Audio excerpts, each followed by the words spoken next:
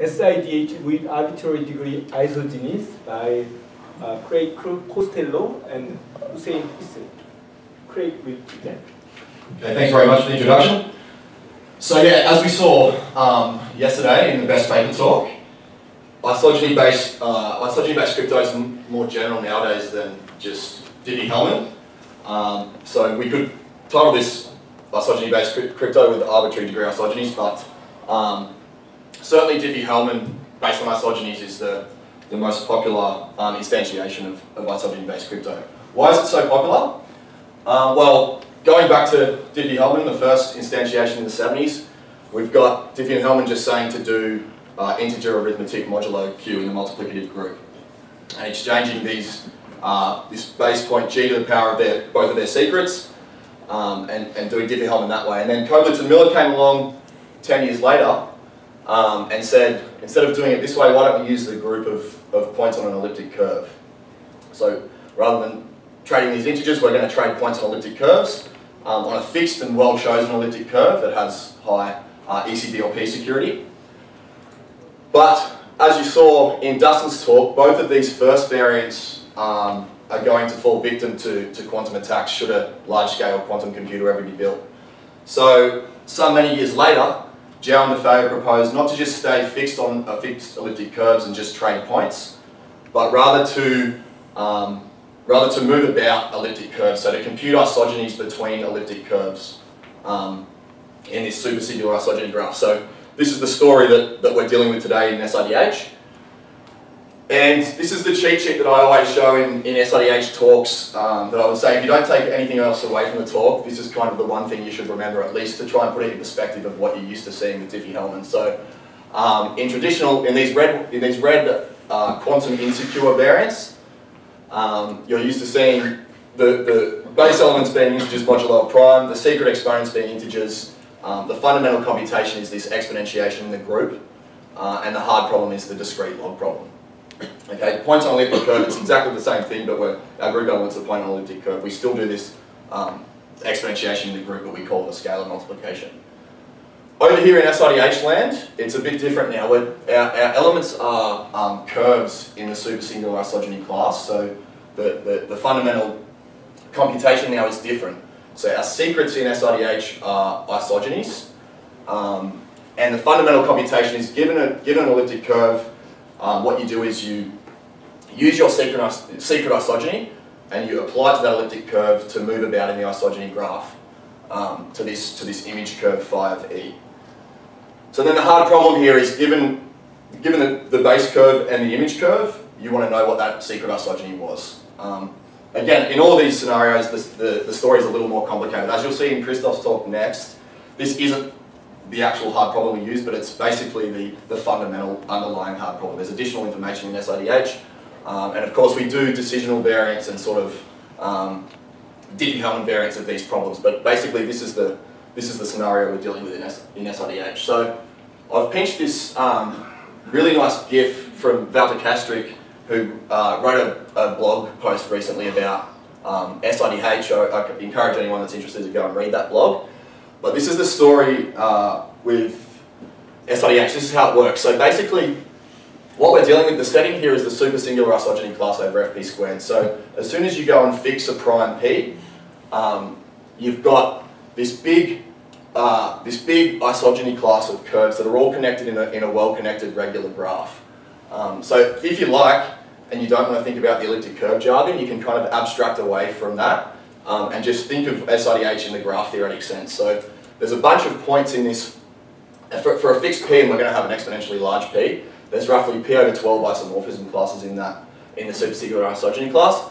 And the public parameters is this starting curve E that Alice and Bob both start on. Um, what Alice is going to do is, is choose a secret subgroup on that starting curve, and in turn that determines a secret isogeny which is, in this case, a secret walk through the isogeny graph. So she's going to take little, little tiny steps of baby isogenies all along the way to eventually have a, to compute an exponentially large isogeny and, and land on E sub A over here. She's going to send that curve to Bob. Bob's going to do the same thing, send Alice E sub B, and then they're both going to compute um, a, a, related secret sub subgroup on each other's curves, and use that to walk to the same target curve here. So that's kind of uh, SIDH without getting into the nitty gritty details. It's, it's, the computation we're doing here is a bunch of little isogeny computations um, to do one exponentially large isogeny computation. Okay? So, um, in the theme of stealing nice pictures from the Leuven crew, this is another nice picture I stole from, from Frey. Um, this is a this is an isogeny graph when the prime is 241. So this is a very small toy example. And there's 20 nodes in this graph. So as I said, roughly p over 12 nodes in the uh, isogeny graph. And we can assume here that we're Alice. So what Alice is going to do is she's going to use two isogenies. Um, so in SIDH currently, we use two and three isogenies. Alice uses two isogenies or two to the E isogenies and Bob uses uh, three isogenies. So here, um, as we'll, we'll, see the reason why in a couple of slides, but basically if, if you're doing two isogenies, each one of these nodes is connected to three other nodes, so it has three edges in the graph. Um, so each, these, these nodes are uh, isomorphism classes of elliptic curves or J invariants that, that represent the isomorphism class. And then what we're going to do is a bunch of computations at each node and eventually Alice is going to come down to have a, a choice of three two torsion points. And then in, in choosing that two torsion point, uh, she's going to move in, in one of those three directions. So Alice and Bob deal with the same graph. On the next slide, it's exactly the same set of nodes. It's just Bob has a different set of edges here. So Bob, instead of having uh, each isomorphism or each node connected to, to three other nodes, he's going to use three isogenies where uh, there's, there's four cyclic subgroups of order three that Bob can choose, and he's going to have a choice of, um, of, of four different uh, baby step, or little, little isogeny jumps at each, from each node. Okay? So this is the um, kind of the, the, only thing you need to know, at, least with respect to, to this talk, um, as far as the correspondence between isogenies and subgroups. It's kind of a very important point. Um, so what is an isogeny, first of all? Uh, you can think of it in either a geometric or an algebraic sense. So geometrically, it's a, it's a map from points on a, in our case, from points on an elliptic curve to points on another elliptic curve. Uh, but algebraically, it's also a group homomorphism um, between the two groups. In this talk, we're going to be dealing with separable uh, isogeny, so you can think of computing an isogeny, you can, you can uh, equate it to determining if any finite subgroup on the, on the, um, the starting curve E. So as soon as you fix a finite subgroup on the, on the first curve, that uniquely up to isomorphism determines an isogeny and the image curve, which we write E sub G. You might see that as E prime in the later slides. But essentially there's this one-to-one -one correspondence between um, subgroups on E and isogenies. So if you want to compute, in this case I've given a toy example here of a, of a tiny supersingular elliptic curve over f11 squared. Um, if you want to compute a 3 isogeny, its group order is divisible by 3, so we're going to have rational 3 isogenies here. Here's our starting elliptic, here's our starting elliptic curve. If you want to compute a 3 isogeny on that um, elliptic curve, you can look at any of the cyclic subgroups of order 3. So in this case, there's four of them, and any one of those subgroups will give rise to a different isogeny. Okay, so if I choose this, this subgroup here, I'm going to take, um, I'm going to get end up on this image curve E1, and this is my map that, that takes us to E1. Um, and so that this having four options here, in the case of three isogenies, corresponds to this previous picture where at each at each node you've got four four um, options, and in the, in the two isogeny case, we've got, we've got three cyclic subgroups of order two. Okay, so now the rest of the talk is essentially talking about how to, um, how to compute these isogenies um, in cases where we're not dealing with L equals 2 or L equals 3. So the way we the way we know how to compute isogenies, given a, given a finite subgroup on the, on the starting curve, is with Vélu's formulas. Okay, so if you input into Vélu's formulas, so we're starting on this curve E, we input into Vélu's formulas the, the, the, curve constants that define the curve, uh, A and B, and we also specify the subgroup G that, that determines the isogeny. Vélu's formulas will magically give you the uh, image curve, so the, the two coefficients of, of E prime, uh, A prime and B prime, and it will also tell you how to map points from E to E sub G, or uh, to E uh, quotient G. So it'll also define these uh, polynomials that talk about how to, how to move points from E under that isogeny to, to uh, E quotient G. So in SIDH we need to do both of these things. We need to, we need to um, from, our, from our starting curve we need to be able to define what these polynomials are and we need to be able to um, update the, the curve coefficients on the, to give the image curve. That's how we walk around that isogeny graph. The only other thing I'll say is um, in the setup is that in, in optimized implementations of SIDH, um, we liked, well, we've, we've um, in our implementation, we've figured out that you can actually do both point and isogeny uh, arithmetic in the projective space of dimension one. Um, and so if you're dealing with elliptic curves over, or any curves over fields, um, it's kind of as simple as it gets, P1. So we, have always known that you can do, or since the days of, of Montgomery's paper, we know that you can do um, X-only arithmetic. That was kind of the basis of the, of the last talk. So we typically, rather than dealing with affine points, we move into projective space. And then Montgomery said we don't really need, or at least Miller in, in his seminal paper said you, we don't need the y-coordinate to do Diffie-Hellman. And then Montgomery said if we're dealing on Montgomery curves, we can drop the y-coordinate and, and do things very efficiently. Um, but in SIDH, we not only have to do uh, point arithmetic on a fixed curve, we have to do that and we have to move between curves in the, uh, in the isogeny class. So you can also do a somewhat kind of analog of that, but in the curve world. So instead of dealing with the, the coefficients A and B, we're going to kind of use them, cast them into projective space to avoid doing inversions. And then because this B coefficient on Montgomery curves just determines the, um, the twist, which twist you're working on. We can drop that uh, because that's, uh, the, the, the isomorphism class is independent of which quadratic twist you're on. Okay, so all the arithmetic we want to do is going to be in P1. Okay, so as I said, the motivation here is um, all of the SID, all of the SIDH uh, and isogeny implementations to date have dealt with Alice doing two to, two to the E isogenies and Bob, doing this should be 3 to the e prime, these e's are different. We choose these to be roughly the same size. Um, to, 2 to the e is roughly the same size as 3 to the e prime. Uh, but, but to date it's just been 2 and 3. So we wanted to look at what happens in the Montgomery curves when we, um, when we move to odd L where L is bigger than 2 or 3. Um, and the other thing I should say is we're dealing with cyclic isogenies here, so generated by one, uh, by the subgroup generated by one element, okay, by, by the generator. So now this is the problems we immediately run into. So when we venture beyond degrees two and three, um, there, there's problems with, with just applying Vélu's formulas out of a textbook to Montgomery curves.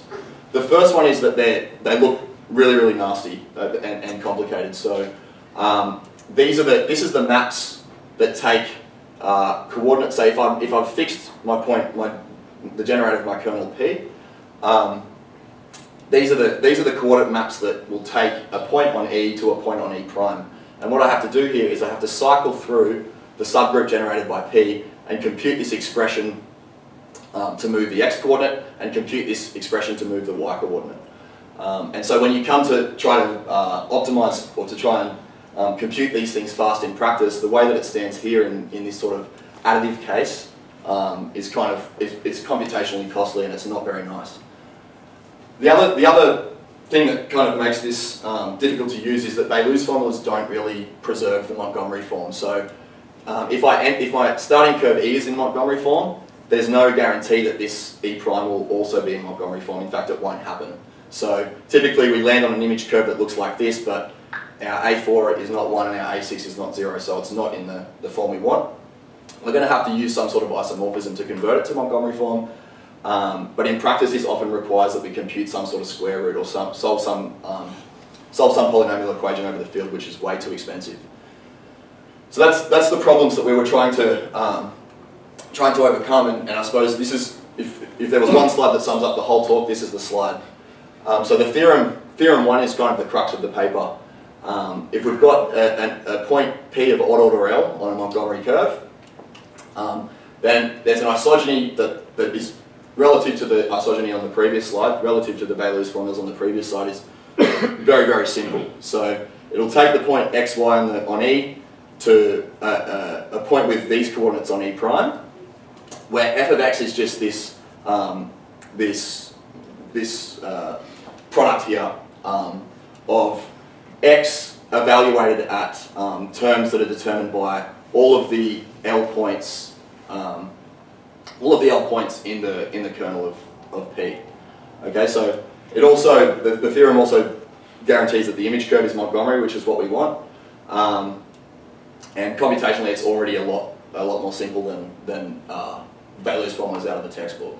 So there was a lot of work that went into deriving this. Um, initially, a lot of emails between Hüseyin and I that uh, ended up with arriving at this formula. And then I think as well, the crux of the paper is the proof of why this works. And there was a lot of emails between Hüseyin and I and between um, Stephen, who gave us a lot of help uh, proving this, this, that this formula actually works um, and that it's mathematically true. So the, the, the, theorem is kind of stated in general terms over a general field, but we wanted to, we wanted to apply it, of course, to, um, to SIDH. So recall that in SIDH we can, we can drop the y coordinate and we can ignore what the b coordinate was. So we really only, we're kind of working on these quotient varieties that you saw in the previous talk. Um, and so we're really only interested in how fast we can compute this map from, or, or, we can evaluate the isogeny under this map, and how fast we can compute the uh, coefficient on the isogeny curve. So the first thing I should say is that because we're dealing in an odd cyclic subgroup, um, the uh, x-coordinate of the ith multiple of p is the same as the x-coordinate of the L minus ith multiple of p. Um, so we, we don't have to we don't have to cycle all the way up to L or L minus one. We can go halfway um, and then just square these products. They're going to be the same value. Um, and the next thing, of course, is that we want to deal in projective space to avoid inversions.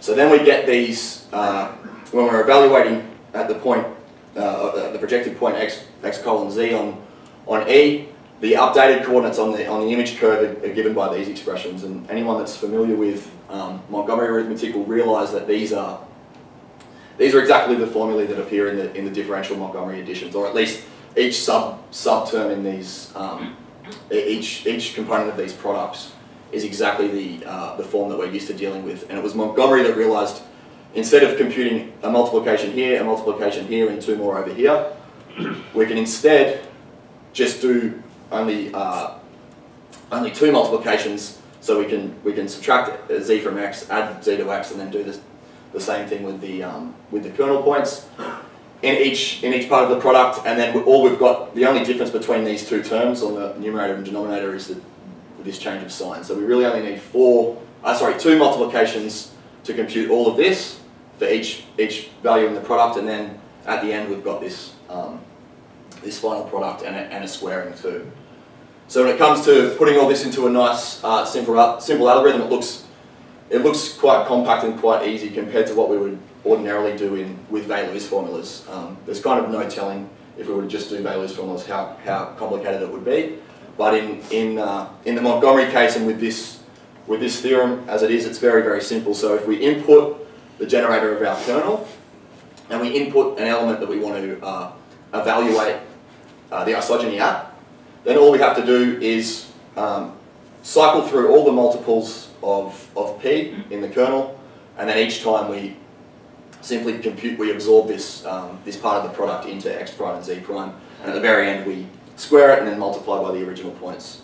Um, so I think each time I think we're incurring sort of four multiplications uh, for each for each value in the kernel. So we can kind of already here see that L is allowed to be up, well, L can be arbitrary up to something um, reasonable. So we can choose L to be 5, 7, 9, and so on, um, and still compute this somewhat efficiently. The only other thing I'll say is, uh, uh, before getting to kind of applications or potential applications, is there's another part of the paper that discusses um, a trick we could do to avoid having to compute the isogeny curve. So if you recall the theorem, um, the theorem said that we compute the updated curve coefficient A prime like this. Um, but this kind of, the, the, the, larger L gets, so the larger, um, larger degree isogenies, this updating the curve coefficient gets more and more expensive relatively to, relative to computing, um, to evaluating the isogeny of points. So one trick we can use is to sort of see this like very simple correspondence between um, two torsion points on Montgomery curves uh, and the curve coefficient a. So rather than looking at how A becomes updated into A prime, we're just going to evaluate the isogeny at two torsion points. So A is just, A, A relates to the two torsion point like this on the, on the domain curve, and on the codomain curve it's going to be exactly the same thing. So we just push that two torsion point through the odd degree isogeny, it'll still have order 2 on the, um, on the domain curve. But then we can not have to compute the updated curve like this anymore. We can essentially use exactly the same function um, with, a, with the modification in the, on the image curve to, to, to find that constant if we need it. So we, we really only need one function to do these odd degree isogenies, not, not two. Now here's one potential upshot. So the, the overall upshot is that we're not really restricted to um, two and three isogenies anymore. We could do uh, SIDH with, um, as the title says, arbitrary, but still let's keep it kind of small degrees. Um, and I should say that, uh, as I said before at the, at the, start, that we try to um, we try to keep these uh, at least Alice's power of two and Bob's power of uh, Bob's power of three relatively balanced. Okay, so those are about the same size. Um, so some re recent work by Bos and Friedberger showed that, at least in their implementation, they were able to achieve faster um, underlying field arithmetic by using um, 19 to the power of 88, which is about the same size as 3 to the 239. For whatever reason, that, that, um, that prime proved to be faster when they were doing their, their underlying field arithmetic. So here, you could imagine, um, and as I said at the top, that our, uh, as L grows large, of course, we have to do less 19 isogenies. We, we might only have to do 88 of them rather than 239 3 isogenies. But as L grows large, um, that isogeny computation becomes more and more uh, expensive, relatively speaking. But if this field arithmetic was faster than this field arithmetic, then you could imagine a situation where um, you still you still let some party suffer the slower 19 isogenies to give the other party, Alice, much faster two isogenies, or uh, somewhat faster two isogenies because uh, she's working over the, a, a, somewhat faster field. So you can imagine a situation like a client server in the real world where the server is the bottleneck, um, giving the server the luxury of, of computing two isogenies over a faster field. So to kind of um, motivate perhaps future work from people that are, that are uh, better at uh, arithmetic than, than I, um, in, in traditional ECC we're, we're used to being able to just pick whatever primes we want there's an exponential number of curves over those primes, um, and so we can find secure, secure curves over any primes that look like this that are, that are very fast in, in software or hardware. Um, but in, in SIDH, we're kind, of, we're kind of restricted to primes that look like this. And, and these primes prove to be somewhere between 1.5 and, and, and two times slower to implement the, the underlying field arithmetic. And if you basically if you get that speed up in the field arithmetic, it filters up through the whole. I mean, all of the implementation comes back to the finite field. So um, if we can speed up the field arithmetic, we get a we get that same speed up, roughly speaking, in the whole the whole situation. one thing um, that's kind of tempting. I, I mean, we could look at primes that look like this, but there's also primes that look friendly that.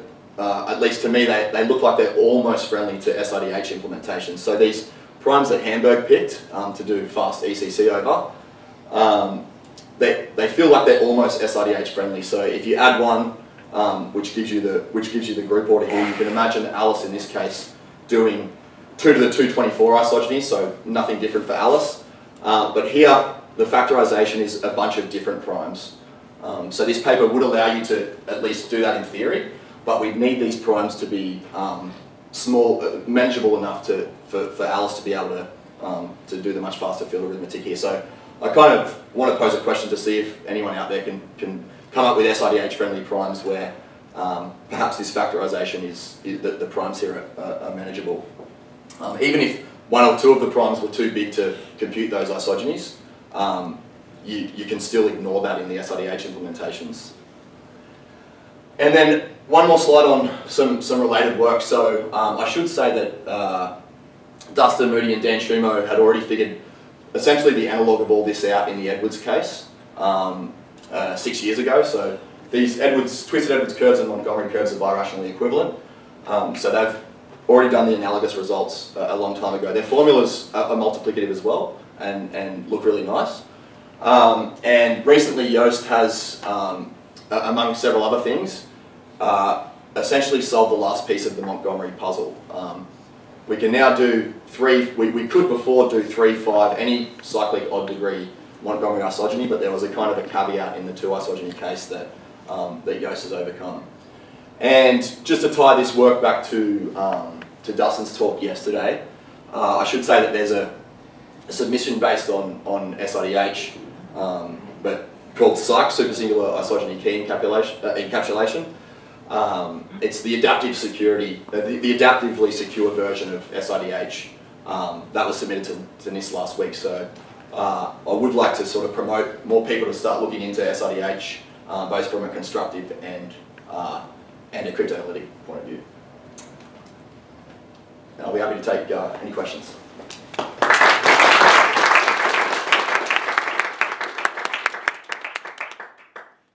Questions? Comments? Okay, thanks. Uh, thanks. Beautifully illustrated talk. Um, so one of the, I mean, you have to compute the isogeny, and then you have to compute the image of two points, and the receiver has to be able to combine some appropriate linear combination of these points to get their kernel, right? Yes. So how do you deal with the sign ambiguity in the points when you drag them over? Ah, so um, that kind of goes back to the paper from last year. We don't just drag the x-coordinate. So if, you're, if the points that you want to compute the image of are p and q, um, we push them down to P1 with XP and XQ, but we also drag through the X coordinate the difference. Ah, yes. So we evaluate we evaluate the isogenies at, at basically three points Mm-hmm. all the way through. So, um, and it seems like that might make the public keys bigger um, by one element, of, well, one FP squared element. Um, but those three those three uh, X coordinates uniquely determine the Montgomery curve where they are on that same line. Yeah. More questions? Comments?